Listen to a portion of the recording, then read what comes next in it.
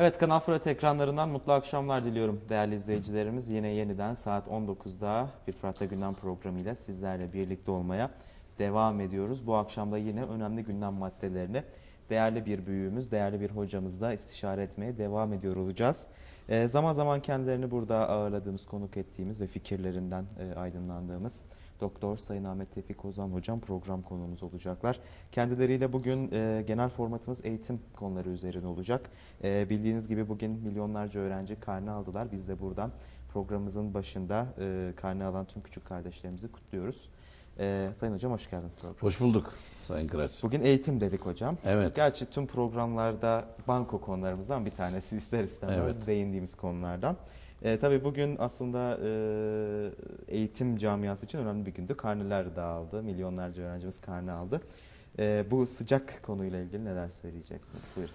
Şimdi tabii e, Türkiye Cumhuriyeti şu anda e, çok geniş bir coğrafyada 70 milyon, insan, 80 milyon neredeyse insanın yaşadığı büyük bir devlet. Aslında Türkiye Cumhuriyeti bir dünya devleti. Ve bu dünya devletinin geleceği elbette e, çocuklar ve gençlerin toplam nüfusu oranıyla diğer ülkelere fark atacak şekilde olması. O yüzden e, şimdi Cumhurbaşkanımız, önceki başbakanımız veya mevcut başbakanımızın ağzından düşürmediği bir söz var. Diyor ki her ailenin üç çocuğu olsun. Niye? Çünkü e, genç nüfus, genç nüfus o ülkenin geleceğidir. O ülkenin hazinesidir. Dinamiğidir aslında. Dinamiğidir. Biz mesela Avrupa Elazığlılar Derneği bizi geçen yıllarda e, vali, belediye başkanı, rektör, sanayi ticaret odası ve Elazığlı yazar çizer arkadaşlarla birlikte bir heyeti Avrupa'ya götürdü. Avrupa'da bazı şehirleri, beldeleri gezdik. Gerçekten onu hemen fark ediyorsunuz. Yani mesela Almanya'da, Frankfurt'ta bizi bir e, şeye götürdü, alışveriş merkezine götürdüler. Alış merkez, alışveriş merkezinin böyle büyük şeyleri var, büyük e, asansörleri var her tarafında ayna, aynalı bir şekilde. Hatta orada benim gözlemlerim de oldu.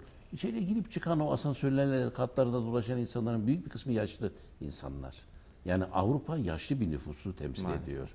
O halde gençlerimiz bugün e, bugün karne alan gençlerimiz bizim geleceğimizdir. Hepsini tebrik ediyoruz. Hepsi bizim geleceğimizdir. Yalnız burada şöyle bir e, düşüncemiz olmalı. Yani şunu açıkça söylemek durumundayız. Bir insan nasıl evladını severse, evladı için çırpınırsa, Türkiye Cumhuriyeti'nde yaşayan herkesin de anne babası vardır. Onlar da evlatları için çırpınır. Hatta o kadar ki şunu bile düşünmek zorundayız. Bu şefkat bizim düşüncemizi bu noktaya getirmeli. Bugün Güneydoğu'da bizim çarpıştığımız sadece kandırılmış piyonlar değil. Biz Güneydoğu'da, Güneydoğu'da, Doğu'da küfür tek millettir. Hakikatine istinaden Türk devletine düşman olan pek çok devletle çarpışıyoruz. Ama burada çok bir gerçek, acı gerçek var. Bu devletler kendi askerleriyle bizim karşımıza çıkmıyorlar. Güneydoğu'da, Doğu'da kandırılmış veya zorla dağa çıkarılmış, piyon olarak kullanılan, beyni yıkanmış insanlar, uyuşturucuya müptela kılınmış insanları bizim karşımıza çıkarıyorlar. O zaman Türkiye Cumhuriyeti Devleti eğitim içerisinde Güneydoğu'da ve Doğu'da köylerin basılarak daha e, çıkarılmasına sebep olacak bir takım eylemleri de zaman içerisinde önlemek durumunda olacaktır. Çünkü dediğim gibi orada kandırılmış, dönüşü olmayan, dönemeyen insanlar varsa onlar da ne yapmak durumundayız? Onları da kazanmak durumundayız. Ama kendi iradesiyle çıkmış böyle yapacağım, şöyle yapacağım diyen insanlar zaten Allah'ın kahar ismiyle er geç karşılaşacaktır. Onlara bir şey diyeceğimiz, diyecek halimiz yok. Ee, bir parantez açalım. Üzücü bir parantez açacağım. Evet. Ee, bugün karneler dağıldı dedik. Diyarbakır'da e, karne alımı sırasında e, hain terör örgütünün bir bombalı yani bir eylemi oldu ve 5 tane öğrenci arkadaşımız yaralandı. Evet. E, karne küçük arkadaşlarımız yaralandı. Onlara Allah'tan acil şifalar diliyoruz. Geçmiş olsun diliyoruz. E, o bölgedeki yaşanan dram gerçekten hepimizi çok ciddi derecede Evet. yaralıyor. Siz neler söyleyeceksiniz? Şimdi şunu söylemek lazım. Aslında bu söylediğiniz olay ben hiç e, şey yapmadım. Yani bu olayı hiç garipsemedim. Çünkü bizim karşımızda kendi iradesi olan insanlar yok. Yani şu anda Güneydoğu'da ve Doğu'da çarpıştığımız insanların iradesi yok. Onlar tesisten gelen emir ne, neyse onu yapıyorlar. Tesisten bir emir geliyor. Adam belki 3 aydır, 5 aydır, 5 senedir arkadaş olduğu, terörist olarak arkadaş olduğu birisi var yanında. Tesisten bir emir geliyor. Dön diyor kafasına sık. Hemen hiç düşünmeden dönüp kafasına sıkıyor. Yani sizin karşınızda düşünen, muhakeme eden, konuşan, söz veren, sözünde duran, sözünde cayan bir insan e, takımı yok, insanlar grubu yok. Maalesef. Karşınızda tesisten emir alan ve emri yerine getiren bir mahlukat takımı var. Ben o yüzden her zaman söylüyorum. Şimdi bu şuna benziyor. Ee, Diyarbakır'ın Eylül ilçesine 100 tane kuduz kurt musallat olmuş. Şimdi oradan birisi çıkıyor diyor ki ya bu kurtlarla bir görüşelim. Bunların başkanları kim? Anlaşalım. Ne zaman geliyorlar? Ne zaman gidiyorlar? Olmazsa 3 ayda bir bunlara et verelim. Ya böyle bir şey olur mu? Kuduz kurtlar seni nasıl dinler? Kuduz kurtların başkanı olur mu? Kuduz kurtların hiçbir şey olmaz. Kuduz kurtlar sadece acıktıkları zaman veya bir herhangi bir iştiyakla sadece saldırırlar. Şimdi bunlar da bu durumda. Şimdi tesisten emir geliyor. Tesisten emir geliyor. Adam Allah'tan çıkıyor. Çocukları taramamışlar. Onları da tararlar. Yani tabii burada şunu da söylemek durumundayız. Bizim bizim samimi Kürt kardeşlerimiz, Türkiye Cumhuriyeti sınırları içerisinde yaşayan Kürt vatandaşlarımız eğer bunlar bizim efendim verilmeyen haklarımızı alacaklar diye bunların arkasına düşüp gidiyorlarsa vallahi de billahi de çok yakın bir zamanda Allah'ın kahhar ismine gelirler. Allah kahhar ismini bu teröristler tarafından bunların üzerine salar. Tecelli edecek inşallah. Ya şimdi siz Allah'tan korkun. Türkiye sınırları içerisinde Kürdüm diyen bir vatandaşımızın hangi hakkı yok ya? Irak'a gidin, Kürdüm deyin başınıza gelecekleri görürsünüz. Ee, İran'a gidin, Kürdüm deyin. Ya daha geçenlerde İran'da Kürtçe şiir yazdığı için bir Kürt şairi astılar ya. Yani İran'da Kürtlerin durumu ortada, Irak'ta ortada, Suriye'de ortada. Siz hangi gerekçelerle Kürdün hakkını alacaklarmış da bunlar Kürt'ü temsil ediyorlarmış diye ortaya Bir çıkıyorsunuz. de işin garip yanı hocam e, haklarını temsil ettiklerini söyledikleri halkın çocuklarını öldürüyorlar. Haklı çocukları öldürüyorlar. En fazla zararı Kürtlere veriyorlar. Evet, Zaten garip bunların, yanı burası. bunların merkez komite üyeleri dinsiz, ateist, mecusi, Hristiyan, Keldani yani İslam'ın dışında her türlü melanet bunların merkez komitelerinde var. Kaldı ki ben sadece şunları söylüyorum. Ey e, ümmeti Muhammed, ey Müslüman Kürt halkı, hiçbir Kürt insanı, hiçbir Kürt örgütü Kürtlerin karısını, kızını, bacısını daha çıkarmaz. Bunlar eğer senin karını, kızını, efendim bacını daha çıkarıyorlarsa bunlar Kürt değillerdir. Aklını başına topla. Senin bacını daha çıkaran insanlar Kürt değil. Bunlar senin canına, malına, kutsalına, namusuna göz dikmiş, e, onun bunun devletin çocukları. Bunlar Kürt değil. Bunu var ya hala daha bunlar Kürtlerin halkını savunuyor diye ortaya çıkan insanlar varsa ben bunların akıllarına yanıyorum. Bizim asıl problemimiz bu. Bu da aslında eğitimin konusu. Adam adam 50 senelik 50 senelik mecusi, 50 senelik ateist, 50 senelik dinsiz zaten cami yakıyor. Kur'an-ı Kerim'i yakıyor. Masum tertemiz kızlar daha çıkarıyor. Ya bugün hangi Müslüman Kürt bacısını daha çıkarır? Hiçbir Müslüman Kürt bacısını daha çıkarmaz. Çıkarılmasına izin vermez. Sadece bunu bile düşünse bir Müslüman Kürt doğruyu bulur ya.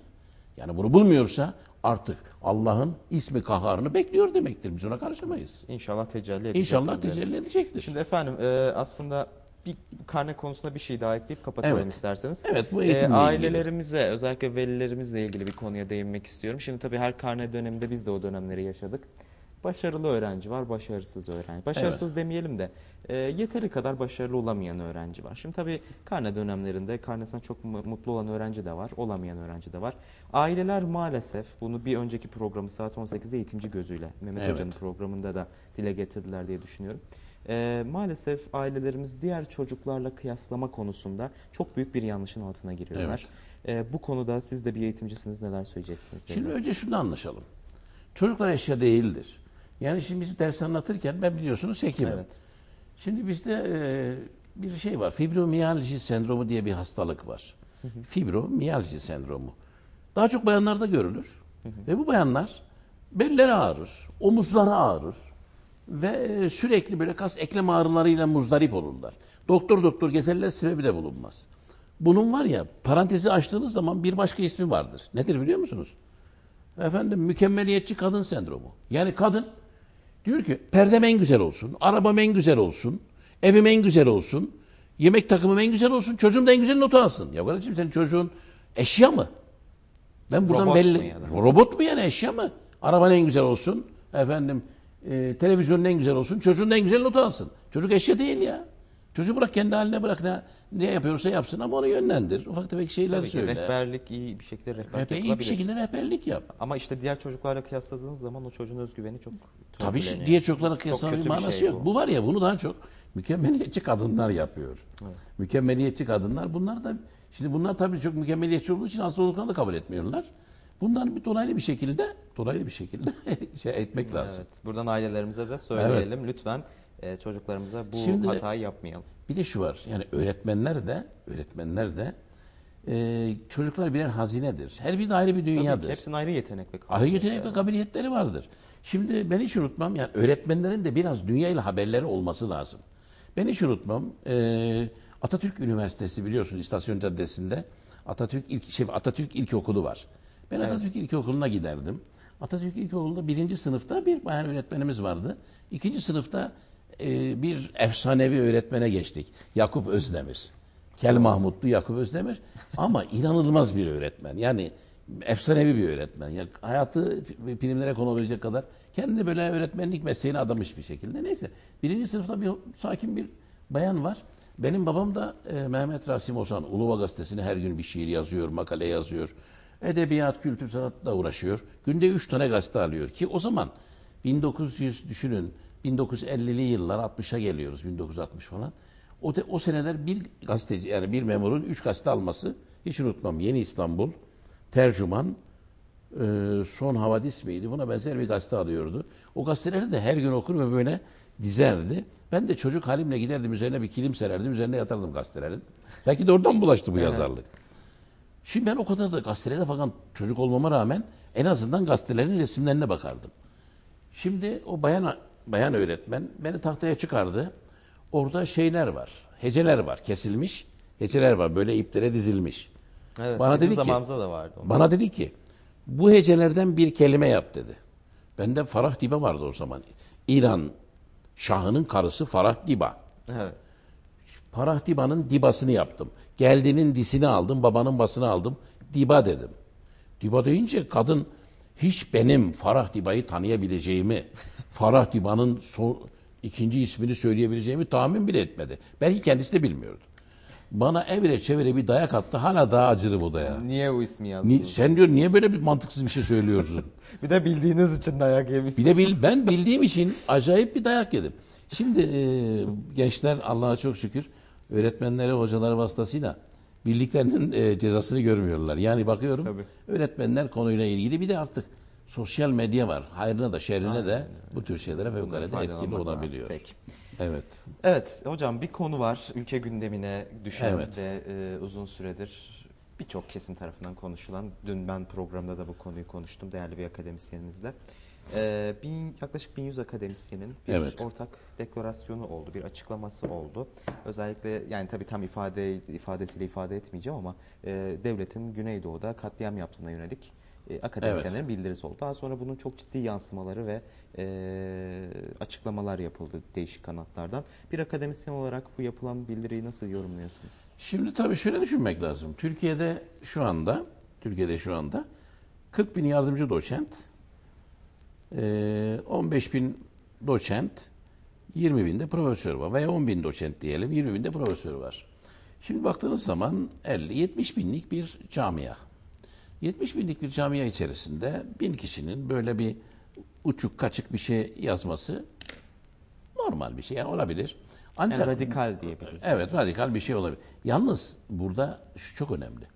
Şimdi e, akademisyenler 1980 anayasasıyla birlikte e, tabii hepsi için de demiyorum ama böyle bir e, çok amiyane bir ifade ama böyle kaşarlanmış bir takımı sanki kendileri e, Türk milletinin üzerinde bir grupmuş gibi, beyaz Türkler gibi yani böyle bir burjuva sınıfı gibi veya bir e, üst sınıf gibi kendilerini kabul etmeye başladılar.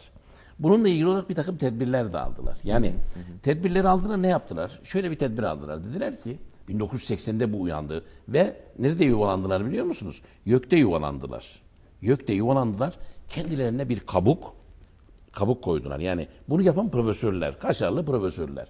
Bunlar tabii profesörler mesela 20 Yani bir binse tabaka mı bu? bu bir 20 bin içerisinde 3-5 bin kişi. Fakat bunlar tek parti zihniyetinin ulusalcı takımı. Tek parti CHP'sinin ulusalcı takımı 3-5 bin kişi. Bunlar dediler ki biz öyle bir sistem kuralım ki profesör olarak Türkiye'de profesör olacak ola- olacakları, olabilecekleri kontrol edelim ve profesör sayısını profesör profesörleri bir yere hapsedelim. Mesela ne anlaşılıyor? 20 bin kişilik bir profesör. bir kale bir zırh içerisine alalım. Bunun bir giriş kapısı olsun. Bu kapıdan bizim istediğimiz geçsin, istemediğimiz geçmesin. Böyle bir yapılanmaya gittiler. Peki bu zırhlı yapı neresidir? Yöktür. Yökte bugün bütün idareci- idareciler profesördür. Bu YÖK'ün idarecilerinin büyük bir kısmı Nemel Azımcı, Eyyamcı takımıdır. Yani ben buraya 4 seneliğine geldim, 4 sene makamımı kullanırım, maaşımı alırım, çekimi alır, çeker giderim diyen insanlardır. Ama bir kısım insanlar da, bir kısım insanlar da biz YÖK'ü bir kale olarak kullanalım, bizim kafamız yani tek parti döneminden kalan, milleti küçük gören, seçimleri küçük gören, bu millet ne ki seçtiği ne olsun diyen insanlardır bunlar. Şimdi bu kaşarlanmış nüve var ya YÖK'ün içerisinde profesör nüvesi. Şunlar aynı şunları söylüyorlar. Diyorlar ki bu millet yani Türk milletini kastediyorlar. Bu millet zaten geri kalmış cahil bir millet. Eski çağ, çağ dışı şeylere inanıyor. Bunların seçtikleri de aynı mal. Aynı böyle diyorlar. O yüzden seçimlerin bir manası yok. Bir çobanın oyuyla benim oyun bir olur mu diyorlar. Bunu kendi aralarında böyle konuşuyorlar. O zaman diyorlar seçimle gelmiş hükümetler de bizim için bir şey ifade etmez. O yüzden ne diyorlar? Ne yapıyorlar bunlar? Cumhuriyet bitiklerini organize ediyorlar. Cumhuriyet bitiklerinde pankart taşıyorlar. Diyorlar ki ordu göreve. Yani darbe yapın diyorlar. Darbe yapın, idareyi bize verin diyorlar. Bunun örnekleri de var. 80 ihtilalinde mesela Nusret Fişek diye aşırı bir solcu, ulusalcı birini getirdiler. Sağlık Bakanı yaptılar. Şimdi onlar biliyorlar. Diyorlar ki ordu darbe yapsın, biz de buradan gelelim. Bunları diyenler kimler? Bir kısım profesörler. Bu profesörler nerede yuvalanmış? Gökte yuvalanmış. Asli asli problemlerine, asli gayelerine diyorlar ki kimse profesör olmasın, profesör olacakları biz tayin edelim. Bu şekilde bir yapılanmaya gittiler. 1980'den belki de son 5 yıla kadar bunu harfiyen yerine getirdiler. Harfiyen yerine getirdiler. Nasıl yerine getirdiler?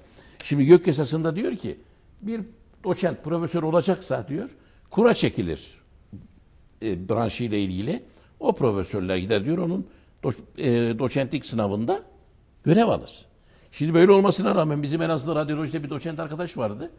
Her seferinde gidiyor. Yahu kardeşim bu kurayla çekiliyorsa aynı adamlar olur mu? Her seferinde aynı adamlar görüyor karşısında. Aynı adamlar da bunlar görür görmez yok deyip gönderiyorlar. Şimdi sonra YÖK, bir- YÖK'e bir şekil düzen verdi mevcut siyasi iktidar. Sonra YÖK'ten çağırmışlar bu arkadaşı. Demişler ki gel gel buraya demişler. Ya demişler sen 5-6 kere 10 kere sınava girmişsin hep aynı jüri var karşında. Bu nasıl oluyor? Arkadaş da şakacı bir arkadaş. Demiş vallahi ben de size soracaktım bunu. Yani adamlar öyle bir tezgahlamışlar ki. Bu tezgah 1980'den inanır mısınız? Belki de 2010 yılına kadar devam etti. Yani 30, 30 sene. bu kaşarlanmış ulusalcı tek parti zihniyetinde milleti küçük gören darbeci, cuntacı profesörler 30 sene doçent olacakları tayin etti. Bunun için iki tane kriterleri var. Bir, ÜDS, YDS diye bir sınav çıkardılar. Bu sınav imkansız bir sınav. İngilizce çok geçemez. Normalde öyle. Git İngilizce 10 tane İngilizce Londra'nın ortasından getir. Sınava sok geçemezler. Çünkü İngilizce gramer sınavı. Ben şimdi Türkçeden konuşuyorum ama Türkçe gramer sınavına girsem çakarım. Bu İngilizce gramer sınavı. İki, doçentlik jürilerine militan, tek parti militanlarını, sosyalist, tek parti, ulusalcı, Marksist, Leninist, ateist militanları koymak. Bu şekilde, bu şekilde tam 30 sene ne yaptılar? Profesör, doçent olacakları kontrol ettiler. Şimdi 30 sene bir bahçeyi ekip biçerseniz bu bahçenin içerisinde böyle bin tane de aşırı militan çıkar. Çok rahat çıkar. Ha şimdi ben bunları anlattım ben. Eğer beni siyasi iktidardan birileri dinliyorsa ben açık söylüyorum. Diyorum ki ey siyasi iktidar bugün şu kaşarlanmış ulusalcı seçimleri kabul etmeyen cuntacı profesörlerin hayatiyetine önlerine set çekmek istiyorsanız bir YÖK yasasını çıkarınız. YÖK'e öyle eyyamcı dört sene kalayım maaşımı çekleri cebine alıp atayım onları atamayınız.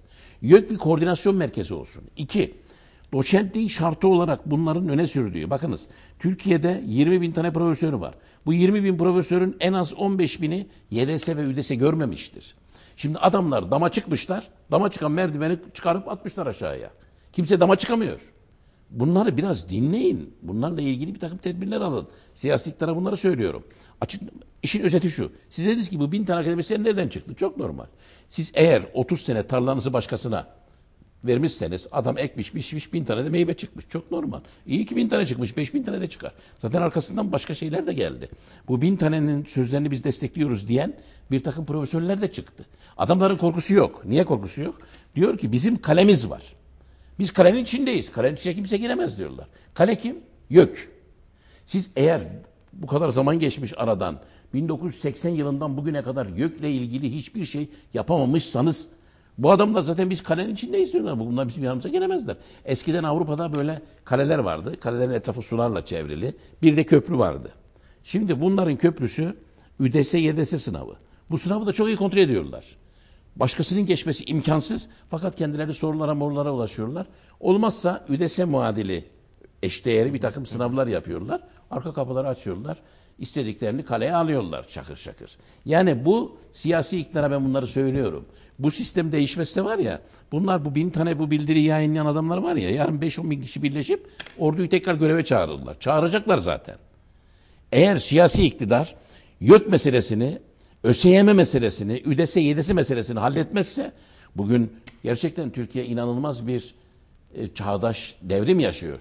Her ile bir üniversite kuruldu. Bu inanılmaz güzel bir şey. Bak bugün Tunceli'de büyüyen inanılmaz güzel, aynen İsviçre'de olduğu gibi böyle coğrafyası da çok güzel. Üniversiteler kuruluyor. Ama bu bir yönden de eleştiriliyor hocam. Her Onu eleştiren insan- doğru değil deniliyor. Bak onu eleştiren insanlar var ya işte bu bu şeyde YÖK'ün üç büyük şehirde kümelenmiş, kaşarlanmış profesörün etkisinde kalan insanlar. Ya zaten bugün üç büyük şehirde veya dört büyük şehirde kümelenmiş, YÖK'ün kalesi içerisine girmiş doçent ve profesörlerin yanına gidemiyorsunuz. Sizi doçent ve profesör yapmıyorlar. Bir de kalkıp da doğuda yapılan, güneydoğuda yapılan üniversitelere niye şey yapıyorsunuz, dikkat ed- ediyorsunuz veya bunları tenkit ediyorsunuz? Zaten oraya girme şansınız yok. Bari gelin buralara girin. Gidebilirseniz. Buralara girmeyi de kontrol ediyorlar. Nasıl kontrol ediyorlar? ÜDS ve YDS sınavıyla akademisyenlerin önünü kesiyorlar. Şimdi ben açık söylüyorum. Hiç kimse Türkiye'de yabancı dile karşı değildir. Bugün e, Antalya'da bir garson bile yabancı dil bilse avantajı vardır. Ama bunların bunların meselesi yabancı dil bilen akademisyen yetiştirmek değil.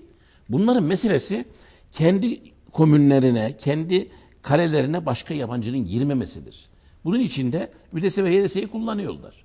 Bunlarla ilgili inanılmaz zaten Yani ÜDS ve YDS aslında bir duvar mıdır? Vardır tabii. Adayları. ÜDS ve YDS dil bilme sınavı değil, dil bilim sınavıdır. İngiliz filolojisini bitirenlerin doktora sınavıdır. Şimdi bunları söylediğiniz zaman bunlar aynı kafa. Şimdi bunlar e, aynı kafayla mesela Başbakan'a, Milli Eğitim Bakanı'na efendim sınav sınavıdır geçsinler diyor. Ya kardeşim sınav sınav olur mu? Ben seni New York telefon rehberinden imtihan etsem geçebilir misin? New York telefon rehberi şu kadar bir rehber. Nasıl geçeceksin? Sınav sınavsa. Böyle bir şey olmaz. Bunlar siyasi iktidarı ayakta uyutuyorlar. Kendi kendi devletlerini, kendi gizli cuntalarını kurmuşlar.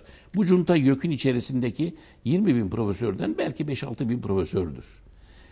Bunların e, kale kapısı da YÖK, şey YDS ve ÜDS'dir. Bu kale kapısını da inanılmaz derecede muhkem yapmışlardır. Kilit üzerine kilit koymuşlardır. Normal bir insan Anadolu'da Tunceli'de yaşayan bir akademisyenin ÜDS'yi YDS'yi geçmesi mümkün değil.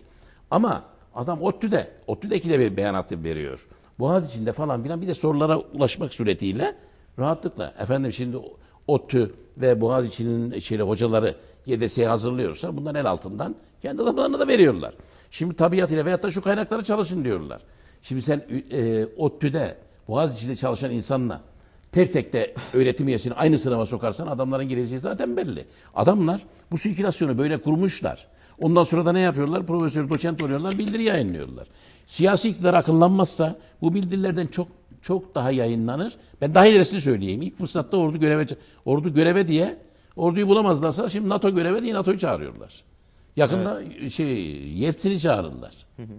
Evet. Şey, Yakında Putin'i çağırırlar. Dün de ifade etmiştik. Samimi bir açıklama değil. Samimi bir beyan Samimi. değil. Hayır Doğru bu beklenen değil. beklenen bir açıklama. Yani Evet. bu yani aslında içeriği anlamında Tabii değil. Doğru Şimdi bir kere var ya ben biraz evvel söyledim. Adam tesisten emir aldığı zaman 3 sene 5 sene yanında çalışan adamın kafasına kurşun sıkıyor. Böyle bir cinayet makinesine, böyle bir cinayet örgütüne efendim bu, bu yapılıyor, şu yapılıyor demenin hiçbir mantığı yok. Türkiye Cumhuriyeti Devleti'nin savaşta bile bir hukuku vardır ya. Şu anda savaşan insanlar o hukukla birlikte yargılanır. O hukuka hesap verir. Savaşın da hukuku vardır. Ama bunların hukuku yok. Türk sizden ne emir gelirse onu yapıyorlar. Şimdi sen kalkıp da bir kere var ya Türkiye Cumhuriyeti Devleti ile bu adamları taraf diye aynı paragrafta zikretmek çok büyük bir suçtur. Ben buradan savcılara göreve çağırıyorum. Bu, bir Türkiye Cumhuriyeti Devleti'nin, Türk Silahlı Kuvvetleri'nin, Türk emniyet mensuplarının çarpıştığı bu terör örgütü, cinayet makinesi taraf olamaz. Şimdi ben İngiliz ordusuyla çarpışırsam taraftır. Çünkü o da bir hukuka bağlı.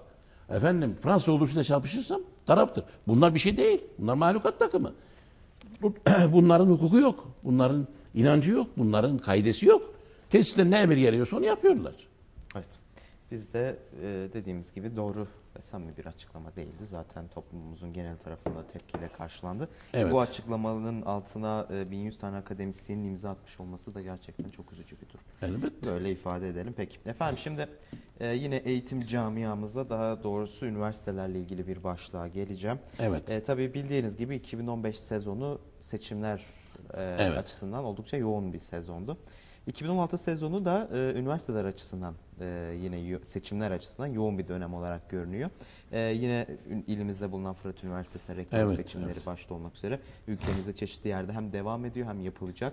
E, rektörlük seçimleriyle ilgili aslında bu son dönemde bazı şeyler tartışılıyor. İşte artık seçimlerin kaldırılıp e, rektör adayı olmak için belirli bir yasal standartın getirilip e, başvuru yapıp rektör adayı olmak isteyenlerin e, YÖK'e gidip başvurup daha sonra Cumhurbaşkanımızın da işte bu adaylar içerisinden ataması gibi bir formülle konuşuluyor aslında toplum nezdinde, e, toplum nezdinde değil e, bazı çevrelerce. E, genel olarak rektörlük seçimleriyle ilgili değerlendirmelerinizi almak istiyorum. Neler söyleyeceksiniz? Şimdi benim söyleyeceğim şeyler e, Laz'ın yaptığı gibi ben en son sözü şimdi en başta söyleyeceğim. Öyle mi? Peki. Ben şahsen prensip olarak, düşünce olarak rektörlük seçimlerine karşı bir insanım. Ben diyorum ki madem ki Türkiye Cumhuriyeti %50'nin üzerinde oy alan bir cumhurbaşkanı tarafından temsil ediliyor. En e, nihai kararı da Cumhurbaşkanı veriyor. Yani şimdi bir üniversitede bir seçim yapılıyor. Bu seçimde ortaya çıkan 3 adayı e, oylar ne olursa olsun YÖK köşke gönderiyor. Cumhurbaşkanı da nihai kararı batıyor. Yani köşke 600 oy almış, 300 oy almış, 200 oy almış bir adamı gönderse Cumhurbaşkanı 200 oy almış adamı da atıyor. Bence bu Yani seçimler... anayasal hakkı var. Anayasal Sayın hakkı var. Şimdi ben diyorum ki bütün bunlar madem Cumhurbaşkanı'nda bitiyorsa, Cumhurbaşkanı'nda bitiyorsa bu seçimleri yapmanın bir manası yok. Bu seçimler üniversiteleri en az 6 ay meşgul ediyor. 6 ay meşgul ediyor. Bu seçimlerde ortaya çıkan rektör adayları, onun etrafındaki insanlar, ha şunu da söyleyeyim. Vallahi rektör adaylarını en fazla yıpratan, rektör adaylarına en fazla zarar veren insanlar, onun, rektör adaylarının etrafında olan insanlar. Ben Elazığ'da kaç dönemdir buradayım, kaç dönem seçim var. Oy veren insanlarla konuşuyorum. Çoğu zaman oy verdim veya vermedim. Yani bazen oy vermeye de gitmedim. Oy veren insanlar oy verirken veya vermezken ne diyorlar biliyor musun? Ya ben bu rektörü çok seviyorum, bu rektör adayını çok seviyorum ama yanındaki adamlar tehlikeli diyorlar. Yanındaki adamdan dolayı vermiyorlar. Yani bu rektörlerin kötü ortaya bir- çıktıkları kötü bir zaman durum, iyi- kötü bir durum. bir durum değil. yani böyle bir durum sürekli kırgınlıklara sebep oluyor. Sonra diyelim Ve ki bilim camiasında içte birbirlerine Bilim- küskünlük küskünlükler ortaya çıkıyor. oluyor. Ben size şunu söylüyorum. Bir de bunun yanında e, son yıllarda, son yıllarda ortaya çıkmış çok yanlış bir durum var. Mesela ben zaman zaman görüyorum tanıdık tipleri de var. Adam şimdi bir web sayfası kurmuş. Bir yerde rektör adayı olacak. Tut, e, geçenlerde de gördüm birisini. Bir, bir yere gitmiş. Bakın bir, yere, bir yerde rektör yardımcısı. Orada rektör olmaya herhalde hevesleniyor. Adam bir web sayfası koymuş. Ondan sonra İl, İktidar Partisi'nin il başkanı resim çektirmiş onu koymuş. Ya kardeşim sen bilim adamı mısın? Siyasetçi misin? Milletvekilleri resim çektirmiş onu oraya koymuş. Yani bu rektör adaylarının. Ha şimdi bu şöyle düşünmek lazım. Şimdi eğer bir rektör adayı rektör adayı üniversitedeki rektörlük temsil makamıdır. Ben burada arkadaşlarımı temsilen buraya geleceğim. Sahikiyle rektör adayı olmuş ona bir şey demiyoruz. Ama ben gidip il başkanıyla fotoğraf çektireyim. Efendim milletvekiliyle fotoğraf çektireyim. Belki rektör olma şansım vardır diyorsa bu zaten baştan kaybedilmiş Ve bilim dünyasının aslında siyasetin içine çekilmesi de hoş bir şey. Şimdi yalnız şunu da söyleyeyim. Yani şimdi e, bilim dünyası biraz evvel söyledim. Siz eğer Türkiye Cumhuriyeti'nde doçentliği sadece İngiliz gramerine bağlarsanız İngiliz kraliçesi size kına mı gönderecek ya? Adamın kalitesi sıfır, konuşması sıfır. Yani cemiyette hiçbir itibarı yok. Sadece gitmiş kaydır kuydur. Bunun bir de bir çeteleri çıktı. İnanılmaz onu ayrıca gireriz o konulara. Bir de bir üdesi çetesi çıktı. Olmadık adamları şey yaptılar. Bunu geçirdiler. Yani bu sonradan ortaya çıktı. Kimisi zaman aşımından falan filan e, ne oldu şey yaptı, yırttı. Tabiatıyla arkadaş ya hocam e, Sayın Kıraç tabiatıyla bir rektör adayı rektör adayı. Ya sen üniversitedesin. Profesör arkadaşlarını temsilen rektörlük yapacaksın. Gidip il başkanıyla fotoğraf çektirmenin, milletvekiliyle fotoğraf çektirip onu lanse etmenin ne manası var? Ama dün de nasıldı onu da söyleyeyim. Dün de cuntacı, karakter zaafı, ezik insanlar ne yapıyordu biliyor musunuz? Her rektör adayı bir general generalle irtibat kuruyordu. Her rektör adayı gidiyordu, general kapısında bekliyordu bir generalin. O zaman da öyleydi. O zaman da öyleydi. Al birini vur ötekine. Yani bunlar, bunlardan rektör olsa ne olur, olmasa ne olur? Şimdi bir gelelim normal normal satıyla olan işlere gelelim. Şimdi diyelim ki rektör adayı çalışmaya başladı. Seçim bürosuna gelip giden insanlar var. İşte onun yanına gezen insanlar var falan filan. Ondan sonra seçimler bitiyor. Seçimler bitiyor. Ben de birkaç kere bazı rektör adaylarını destekledim. Seçimler bitti ben kendi işimle uğraşıyorum. Ama bu seçim bürosunda çalışan fakat e, e, mantalitesi ayrı olan insanlar seçim biter bitmez hemen listelerle rektörün karşısına çıkıyorlar. Diyorlar ki e, efendim ben bunu istiyorum. Kardeşim bunu istiyor. Yeğenim bunu istiyor. Makam istiyorlar. Şimdi ben böyle oldu bir tane bir yanıldığım bir şey oldu. Bir rektör adayını fiilen destekledim sonuna kadar. Sonra bir şeyler öğrendim. Ben seçimler bitti, çektim gittim işime bakıyorum ben, uğraşıyorum. Bazıları gitmişler rektörün yanına. Demişler ki efendim geldik, biz geldik. E, geldin, hoş geldin, Mustafa geldin. Bir, bana bu görev vereceksiniz. Kardeşime bu görev vereceksiniz. Üç demişler, Ahmet Tevfik Ozan'a da hiçbir görev vermeyeceksiniz. Bizzat buyurun. sizin isminizi verdi. Bizzat benim ismimi vermişler. Buyur buradan yak. Bak biz can siperhane adamı destekledik. Memleket için, millet için bir şeyler yapar diye.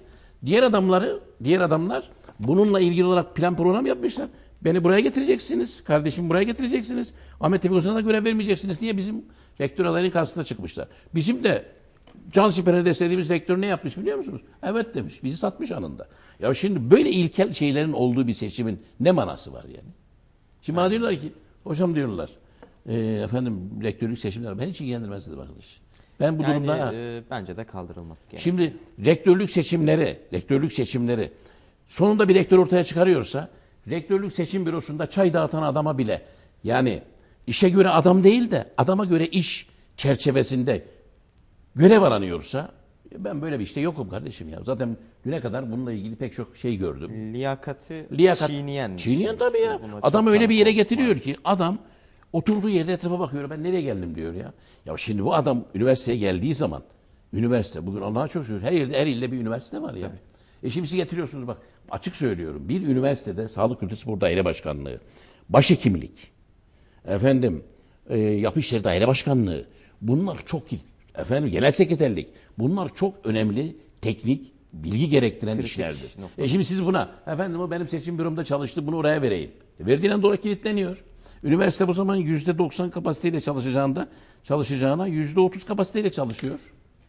Bu sefer de tıkanıyor. Tıkanıyor. Yüzde yirmi de tıkanıyor. Bakınız ben ya şimdi en başını söyleyeyim sayın rektörümüze ben yani e, bunu söylerken bir politik endişem yok. Şu Elazığ'da ha- Elazığ'ın dört bir etrafı su. Değil mi su? Evet. Şeye gelelim Hazar Gölü'ne gelelim. Hazar Gölü'ne. Hazar Gölü'nde batık bir kent var. Evet. Elazığ'da bir su ürünleri fakültesi var. Su ürünlerinde ben şahsen o zaman görevliydim, daire başkanıydım. En az 30-40 milyarlık malzeme aldık. Dalma mak- şeyleri var. Aparatları var. ya kardeşim Elazığ'ın her tarafı su. Hazar Gölü var. Dalma aparatları var. Ve batık bir kent var. Bunun reklamını yapamıyorsunuz. Su ürünlerine bir talebe gelmiyor ya. E şimdi siz tabii Kapanması dahi bir Kapatılması bile gündeme geldi. geliyor. Siz tabii işe göre adam değil de adama göre iş verirseniz olacağı bu. Olacağı bu. Ya şimdi Türkiye en başta ya bakıyorsunuz üniversite bir yer açılacak. Bir fakülte açılacak. Fakülte açıldığı zaman bine bulamıyorlar. Bine bulamıyorlar geliyorlar yalvar yakar. Orayı kırıyorlar. Bu kirişi kırıyorlar. Deprem açısından riskler ortaya çıkıyor. Düne kadar Fırat Üniversitesi'nin var ya başka kurumlar tarafından verilmiş eski hastane, efendim Sivrice'nin pek çok binası, pek çok bir şey vardı. Arkadaş o zaman e, rektör olanlar veya üst yönetimde olanlar gittiler yalvar yakalar kapılarda çaldılar. Kapıların önünde beklediler. Bunları alın dediler. Emin olun biz eski hastaneyi altındaki binayı biraz güçlendirerek oraya iki üç tane fakülte açardık. Yani böyle bir endişe yok. Çünkü adamlar oraya tesadüfen gelmişler. Ben inanıyorum ki Türkiye'de eğer bu sistem devam ederse bütün üniversiteler, illerdeki bütün üniversiteler yüzde 90 kapasiteyle çalışacağına yüzde 10, yüzde 20 kapasiteyle çalışır ve Türkiye'nin de geleceği Ya bir de e, şöyle bir boyut var sözünüzü kesiyorum olmaz. ama yani dışarıdan baktığımız zaman da bunu görmek çok mümkün. E, diyelim ki bir üniversitede üç tane rektör adayı var. Evet. Her üçünü de destekleyen farklı akademisyenler Evet. var. Aynı bölümde de farklı akademisyenler var. Farklı bölümde de farklı akademisyenler Evet. var. Bunlar tabii e, seçim satım halinde farklı e, adayları değerlen destekledikleri için seçim bitse dahi henüz daha seçim dönemindeki atmosferde yaşıyorlar. Evet. Değil mi? O adayı destekledim, bu adayı destekledim. Bunlar yaşanan şeyler yani hani farklı Elbette, bir şey de tabii, tabii, söylemiyorum. evet. E, bu noktada e, akademisyenler arasındaki ikili ilişkilere de çok ciddi zarar veriyor bu değil mi? Elbette tabii. Yani seçimden dolayı belki de bir bilimsel araştırma yapacak iki isim bundan dolayı bir araya gelmiyor. Gelmiyor, evet. E, ki ben hani az önce de söyledim rektörlük seçimlerinin kaldırılması e, ben de bir yerde okumuştum. Evet. E, zaten Sayın Cumhurbaşkanı artık halkın oylarıyla gelen bir e, cumhurbaşkanı. Bundan sonraki cumhurbaşkanlarımız da böyle olacak. E, sizin de ifadenize göre e, rektörleri doğrudan O da ataması, atasın. e, Sonra daha şunu doğru söyleyeyim. olacak Yani şimdi bak bu gördüğünüz uzaktan baktığınızda tespit ettiğiniz bir hadise. Şimdi adam Osmanlıca üzerine çalışıyor. Benim arkadaşlarım var. Geçen Eskişehir'de bir kongreye gittik. Adamın Osmanlıca yazdığı eserler kendi boyu kadar. Ve adam do- doçent, yarım doçentlikte kalmış. Doçent olamıyor. Niye? Adamın, adamı dayamışlar bir YDS sınavı. İngilizce, gramer, dilimi geçeceksin. Kardeşim bu adam Osmanlıca çalışıyor ya. Şimdi sen buna var ya, sen buna eğer dili öğretmek istiyorsan, kardeşim senin eserlerin yeterlidir. Bir sene İngiltere'ye gideceksin. En azından konuşma, anlamayı öğrenip geleceksin. De. Adama niye getirip 40 bin kelimelik lügatı dayıyorsun, İngilizce gramerini öğreneceksin diye şey yapıyorsun. Aslında bu, aslında bu var ya, tek kelimeyle bu bizim siyasi iktidarların aklında olan bir şey değil. Bu YÖK'ün içerisinde kümelenmiş, biraz evvel söylediğim ulusalcı, ulusalcı takımın, bu kaşarlanmış ulusalcı takımın projesi bu. Onlar diyorlar ki, arkadaş biz 20 bin kişi profesör olduk mu? Olduk. Bundan sonra kimse olmasın. Ne yapalım? Öyle bir sınav koyalım ki İngiliz geçse geçemesin. Nitekim de öyle koymuşlar sınavı. Son Hakikaten zamanlarda çok var. Bir üniversiteden var ya, dört sene sınava giriyorlar. Bir tane, iki tane kişi doçent olamıyor.